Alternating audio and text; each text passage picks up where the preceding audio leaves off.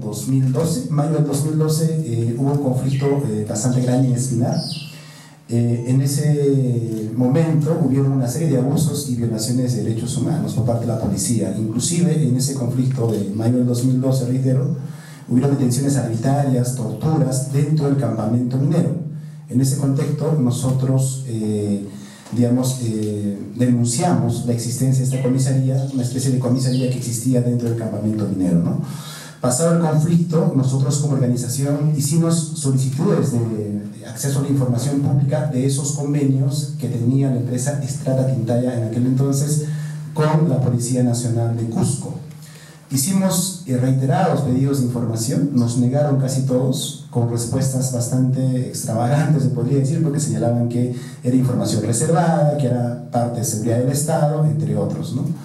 Eh, es así que el año 2014, eh, a través de una medida judicial, en este caso una habeas data, que es una medida jurídica que te permite solicitar información pública a cualquier ente del Estado, es que hacemos eh, esta acción legal.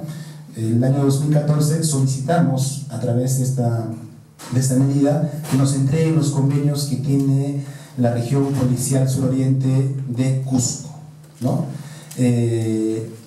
Esperamos más o menos dos años para que nos entreguen los convenios. Nos entregan en los convenios del año 2000, desde el año 2012 a 2014 más o menos, del proyecto minero Las Bambas en Apurima. Nos entregan los convenios de Estrada Tintaya en ese entonces, todavía en el año 2012, que actualmente es Glencore Antapacay, que está en la provincia de Espinar en Cusco nos entregan una copia del convenio del proyecto minero Constancia de la canadiense Harpay, que está en la provincia de Chumivilcas, también en Cusco, y finalmente el convenio, una copia del convenio del proyecto Quechuas, que también está en Espinar. Entonces en total eran cuatro convenios que tenía suscrito en ese momento la región policial suroriente de Cusco en esta zona del país. A raíz de esta información es que nosotros hemos hecho un análisis, digamos, jurídico sobre las cláusulas que existen entre estos convenios con eh, la empresa y la policía.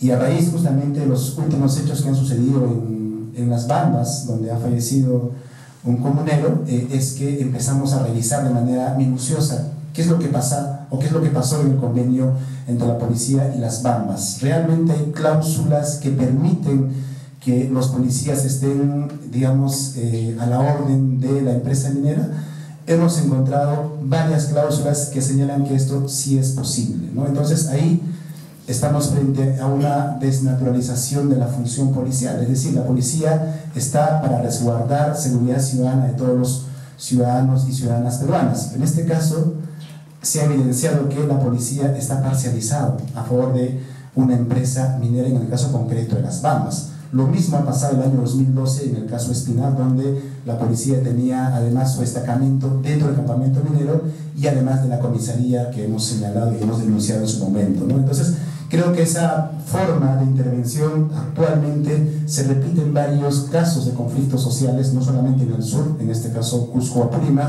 se repite en el centro, se repite en Cajamarca, en el caso Majas, y uno puede hacer un recuento y se da cuenta que hay una forma de intervención de la policía que ha estado sujeto a convenios con empresas mineras.